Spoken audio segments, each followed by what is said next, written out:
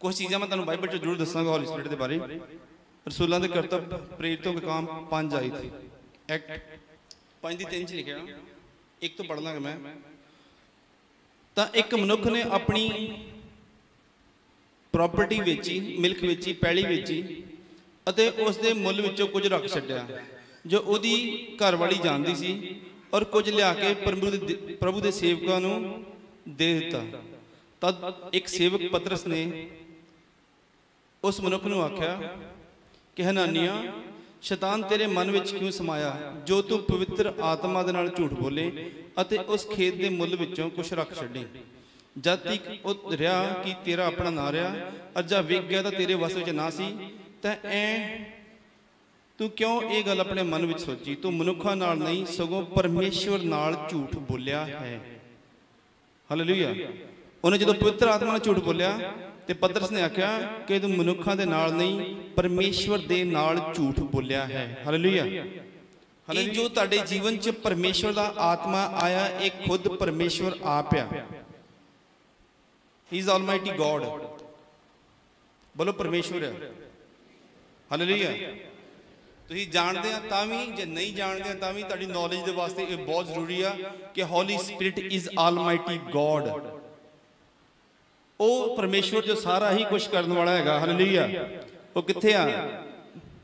ਤੁਹਾਡੇ ਨਾਲ ਇੱਕ ਹੋ ਚੁੱਕਾ ਹੋ ਬੋਲੋ ਜ਼ਰਾ ਗੈਰ ਭਾਸ਼ਾ ਬੋਲੇ ਕੋਈ ਜ਼ਰਾ ਜਿਹੜੇ ਬੋਲਦੇ ਆ। ਉਹ ਰਬਾ ਸ਼ਲਹੀ ਜ਼ਬਾ ਸ਼ਲਹੀ ਜ਼ਕਲਾ ਬਾ ਸ਼ਲਹੀ ਬੋਲੋ ਬੋਲੋ ਬੋਲੋ।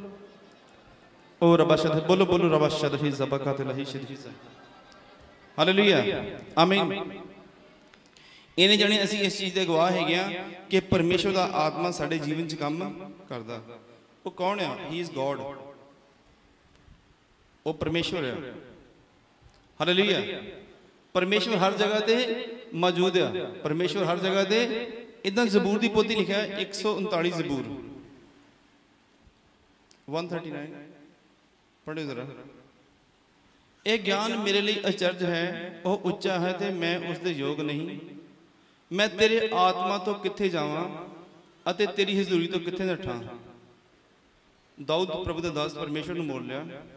ਜੇ ਮੈਂ ਆਕਾਸ਼ ਉੱਤੇ ਚੜ ਜਾਵਾਂ, ਤੂੰ ਉੱਥੇ ਹੈ। ਜੇ ਮੈਂ ਪਤਾਲ ਵਿੱਚ ਬਿਸਤਰਾ ਵਿਛਾਵਾਂ, ਤੂੰ ਉੱਥੇ ਹੈ। ਜੇ ਮੈਂ ਫਜ਼ਰ ਦੇ ਜਾਨੀ ਕਿ ਖੰਭ ਲਾ ਕੇ ਉੱਡ ਜਾਵਾਂ ਤੇ ਸਮੁੰਦਰਾਂ ਦੇ ਅਖੀਰ ਵਿੱਚ ਚਲਾ ਜਾਵਾਂ, ਤੂੰ ਉੱਥੇ ਵੀ ਹੈ। ਉੱਥੇ ਵੀ ਤੇਰਾ ਹੱਥ ਮੇਰੀ ਅਗਵਾਈ ਕਰੇਗਾ ਤੇ ਤੇਰਾ ਸੱਜਾ ਹੱਥ ਮੈਨੂੰ ਫੜ ਲਵੇਗਾ। ਅਤੇ ਜੇ ਮੈਂ ਆਖਾਂ ਭਈ ਹਨੇਰਾ ਮੈਨੂੰ ਢੱਕ ਲਏਗਾ ਤੇ ਮੇਰੇ ਆਸੇ-ਪਾਸੇ ਚਾਨਣ ਹੋ ਜਾਏਗਾ। ਹਾਲੇਲੂਇਆ। ਫਿਰ ਵੀ ਹਨੇਰਾ ਤਾਂ ਇੱਥੋਂ ਨਾ ਛਪਾਵੇਗਾ ਤੇ ਰਾਤ ਦਿਨ ਵਾਂਗ ਚਮਕੇਗੀ। ਸੋ ਹਨੇਰਾ ਤੇ ਚਾਨਣਾ ਇੱਕੋ ਜਿਹੇ ਹਨ ਪਰਮੇਸ਼ਵਰ ਦੇ ਵਾਸਤੇ। ਹਾਲੇਲੂਇਆ ਇਹ ਕਿਹਦੇ ਵਾਸਤੇ ਬੋਲਿਆ ਹੈ 7 ਆਇਤ ਲਿਖਿਆ, ਮੈਂ ਤੇਰੇ ਆਤਮਾ ਤੋਂ ਕਿੱਥੇ ਜਾਵਾਂ ਅਤੇ ਤੇਰੀ ਹਜ਼ੂਰੀ ਤੋਂ ਕਿੱਥੇ ਨੱਠਾਂ? ਹਾਲੇਲੂਇਆ ਹਾਲੇਲੂਇਆ ਜੋ ਪਰਮੇਸ਼ਵਰ ਦਾ ਆਤਮਾ ਜਾਂ ਪਰਮੇਸ਼ਵਰ ਖੁਦ ਆਪ ਆ, ਹਰ ਜਗ੍ਹਾ ਮੌਜੂਦ ਆ ਜੋ ਤੁਹਾਡੇ ਵਿੱਚ ਆ, ਉਹ ਰੱਬ ਆ। Hallelujah hallelujah. ਲੋਕ ਕੋਈ ਨਾਰਮਲ ਲੋਕ ਨਹੀਂ ਹੈਗੇ। ਹਾਲੇਲੂਇਆ। ਸੁਪਰ ਹਿਊਮਨਸ ਤੁਸੀਂ ਹੈਗੇ ਆ super humans super humans hallelujah. Hallelujah. ਹੈਗੇ ਆ ਤੁਸੀਂ, ਹੋਣਾ ਨਹੀਂ ਆ। ਤੁਸੀਂ ਉਹ ਲੋਕ ਆ ਜਿਹੜੇ ਪਰਮੇਸ਼ਵਰ ਦੀ ਭਾਸ਼ਾ ਨੂੰ ਬੋਲਦੇ ਆ, ਜਿਸ ਦਿਨ ਪਰਮੇਸ਼ਵਰ ਨੇ ਆਖਿਆ ਕਿ ਚਾਨਣ ਹੋਵੇ ਤੇ ਚਾਨਣ ਹੋ ਗਿਆ। ਹਾਲੇਲੂਇਆ। ਪਰਮੇਸ਼ਵਰ ਨੇ ਪੰਜਾਬੀ ਨਹੀਂ ਬੋਲੀ, ਇਬਰਾਨੀ ਨਹੀਂ ਬੋਲੀ, ਪਰਮੇਸ਼ਵਰ ਨੇ ਗੈਰ ਭਾਸ਼ਾ ਬੋਲੀ, ਕਿਉਂਕਿ ਪਰਮੇਸ਼ਵਰ ਆਪਣੀ ਭਾਸ਼ਾ 'ਚ ਪਰਮੇਸ਼ਵਰ ਨੇ ਆਖਿਆ, ਚਾਨਣ ਹੋਵੇ ਤੇ ਚਾਨਣ ਹੋ ਗਿਆ। ਜਿਸ ਦਿਨ ਬਾਈਬਲ 'ਚ ਆਪਾਂ ਪੜ੍ਹਦੇ ਹਾਂ ਉਤਪਤੀ ਦੀ ਕਿਤਾਬ, ਪਰਮੇਸ਼ਵਰ ਨੇ ਆਖਿਆ ਕਿ ਚਾਨਣ ਹੋਵੇ ਤੇ ਚਾਨਣ ਹੋ ਗਿਆ। ਹਾਲੇਲੂਇਆ ਤੇ ਪਰਮੇਸ਼ਵਰ ਨੇ ਪੰਜਾਬੀ, ਅੰਗਰੇਜ਼ੀ ਜਾਂ ਕੋਈ ਹੋਰ ਭਾਸ਼ਾ ਨਹੀਂ ਬੋਲੀ। ਪਰਮੇਸ਼ਵਰ ਨੇ ਗੈਰ ਭਾਸ਼ਾ ਦੇ ਵਿੱਚ ਬੋਲਿਆ ਕਿਉਂਕਿ ਪਰਮੇਸ਼ਵਰ ਦੀ ਭਾਸ਼ਾ ਹੈਗੀ ਆ।